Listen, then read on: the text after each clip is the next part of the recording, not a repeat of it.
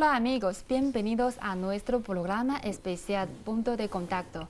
Soy Vivian Lee. Les recuerdo que nuestro programa se transmite a través de nuestro sitio web espanol.cri.cn. El pasado 5 de marzo se inauguró la quinta sesión anual de la undécima Asamblea Popular Nacional en el Gran Palacio del Pueblo de Beijing. En dicho informe, el primer ministro chino Wen Jiabao presentó su proyecto sobre la labor del gobierno. En este informe, no solo conocemos los resultados de la gestión del gobierno, también se nos informa sobre los trabajos prioritarios para el próximo año. Para comentar al respecto e intercambiar sus opiniones, nos acompañan dos invitados especializados, tanto de asuntos chinos y como de, de países hispanohablantes. Primero le doy la bienvenida al profesor Xu Shicheng, es investigador del Instituto de Estudios de América Latina, la cual pertenece a la Academia de Ciencias Sociales de China. Eres un experto en la materia quien ha tenido sobresalientes investigaciones sobre Latinoamérica. Y después damos la bienvenida a Patricia Castro Obanto, periodista del Perú, quien por casi cinco años se, desempeñó como reportera en Beijing del diario peruano El Comercio y hoy se prepara para un doctorado en China. Muy bienvenidos. Con mucho gusto. Muchas gracias. Ah, en, el progreso, en el proceso en el proyecto del informe sobre la labor del gobierno, el primer ministro chino Wen Jiabao mencionó que el objetivo de crecimiento del Producto Interno Bruto del país se fijó en 7,5%, después de fijar el objetivo de crecimiento en 8% durante ocho años. Según ustedes, ¿cómo evalúan este reajuste? El ajuste de crecimiento económico de China, eh, presentado por, el primer ministro Wen Jiabao en su informe de labor de gobierno, refleja objetivamente la situación internacional y, e interna. Eh, y, porque eh, internacionalmente los países desarrollados tienen una lenta recuperación de su economía. Y los países de Europa, Unión Europea, ahora sigue pasando por una crisis de la deuda soberana. Y la demanda externa ha, ha bajado en los últimos meses. Internamente China ahora está reajustando su modelo de desarrollo económico. Y por lo tanto, yo creo que el ajuste de crecimiento económico de China refleja objetivamente esta situación, tanto interna como internacional. En segundo lugar,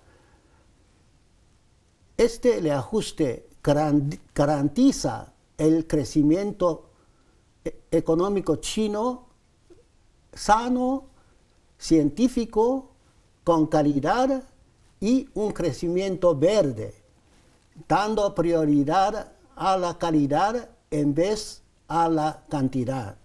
En tercer lugar, este reajuste beneficia el, reajuste de la, del modelo de desarrollo económico de China y el reajuste de la estructura económica de China para evitar el aterrizaje económico brusco y, duro.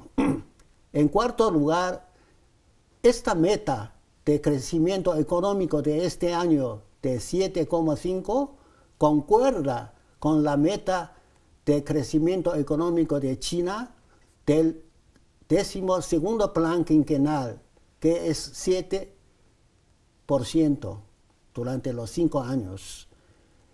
Y el quinto lugar es beneficia eh, la reducción de consumo de energía y también para evitar el aceleramiento de la inflación de China y evitar a la vez deflación. Y por lo tanto, yo creo que este reajuste es objetivo y va a beneficiar el crecimiento económico Además, quiero señalar que el crecimiento de 7,5%, esta tasa de crecimiento económico, todavía yo pienso que es una de las tasas de crecimiento más rápido eh, entre los países del mundo. Y Patricia, ¿cuáles son sus opiniones sobre este tema? Sí, así como lo ha señalado en su análisis el profesor Xu, eh, China está apuntando a un cambio de lo que es su modelo de crecimiento. Eh, se sabe que los países que crecen de una manera veloz, es decir, que tienen un desarrollo rápido, eh, corren el peligro de tener también un aumento de inflación. Esto marcha generalmente de forma paralela. el hecho que China ahora desacelere su crecimiento va a permitir también poder controlar mayor sus precios de sus alimentos básicos, por ejemplo, y de esa manera se va a poder controlar lo que es la inflación. La idea es mayor desarrollo, desarrollo rápido, peligro de inflación. Un desarrollo más lento, esto permite un control de los precios que baja la inflación. Esto da todo un escenario para que se puedan atender otras necesidades de los ciudadanos chinos. El crecimiento de China ha ido por etapas hasta este momento lo que había importado, lo que era necesario era aumentar el desarrollo, es decir, que el desarrollo vaya rápido. Pero a partir de este momento, a partir de las necesidades de los ciudadanos chinos, ahora lo que se está buscando es no tanto la cantidad, sino la calidad de este crecimiento. ¿no? Se ha llegado a una meta y estamos comenzando una nueva etapa hacia eh, otras metas que tienen que ver con eh, otras cuestiones que alcanzan los países que ya obtienen una, o mantienen lo que es una tasa de crecimiento eh, mayor de un 7%, como es el caso de, China. ¿no? Eh, con esto que vemos, vemos que a veces 7.5 es más que 9.2. Bien, y sabemos que, el sabemos que el desarrollo económico de calidad siempre va relacionado con el mejoramiento de la vida del pueblo. ¿Qué opinan ustedes al respecto? Yo pienso que, por ejemplo, el año pasado el crecimiento económico de China fue 9,2%, un crecimiento alto, pero en comparación con el año 2010, que fue 11,2%, eh, es relativamente inferior. Eh, pero el año pasado con este crecimiento estable, o sea, alto también, relativamente alto, mejoró el ajuste de la economía macroeconómico, o sea, y también aceleró el ajuste del modelo de desarrollo económico y también aceleró el ajuste de la estructura económica y también benefició al desarrollo de la, causa social, o sea, mejorando la, eh, por, la seguridad social, por ejemplo, y también un desarrollo coordinado económico-social para garantizar el mejoramiento mm, de la vida del pueblo en general y ha resuelto una serie de problemas concretos relacionados con los intereses cardinales del pueblo. Por ejemplo, el año pasado, eh, en todas partes de China, ha elevado eh, el salario mínimo básico y también ha aumentado las pensiones básicas de los trabajadores de las empresas y ha le bajado el punto de partida para la cobración de, los impuestos de la renta personal. Y también eh, en, en, las ciudades, el año pasado, la, la cobertura de la seguridad básica de vejez también se amplió en 2.140 47 distritos o ciudades, municipios, hay 13 millones, más de 13 millones han sido beneficiarios del seguro básico de vejez y más de 6 millones de viejos ciudadanos eh, han obtenido eh, la pensión básica.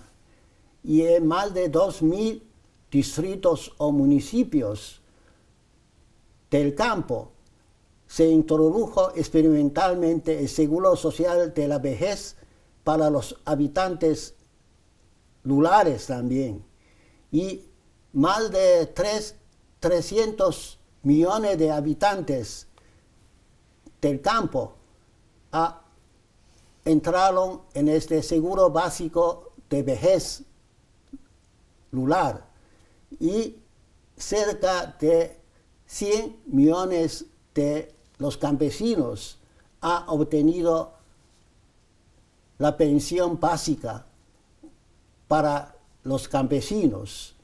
La cobertura superó más de 60%. Y también el año pasado han resuelto 5 millones de los jubilados que un problema heredado por en el pasado. O sea, el sistema de seguro social del año pasado amplió su cobertura y según el informe de labor de gobierno de este año presentado por Wen este año va a cubrir 100% el seguro social, seguro básico de vejez, tanto en el campo como en las ciudades. Yo creo que aunque la tasa de crecimiento económico ha bajado un poco, sin embargo, en la seguridad social va a mejorar mucho la, cobertura, la cobertura de la seguridad social en China va a ser más amplia que los años anteriores. Bien, y Patricia, ¿qué opina usted? Eh, el tema de la calidad enfoca básicamente al punto de atender cuáles son las preocupaciones y las necesidades de, los ciudadanos chinos, tanto del campo como de la ciudad.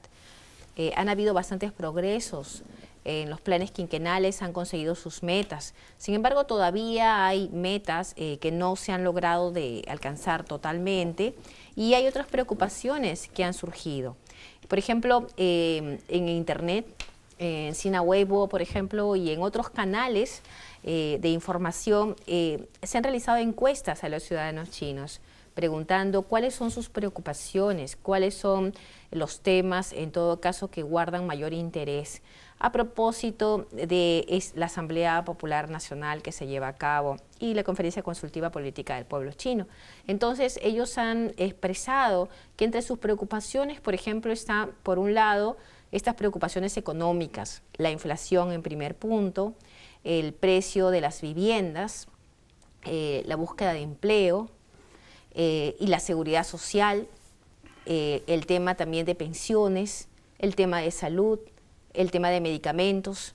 Esta segunda parte ya va unida más a lo que es la vida en sí del ciudadano.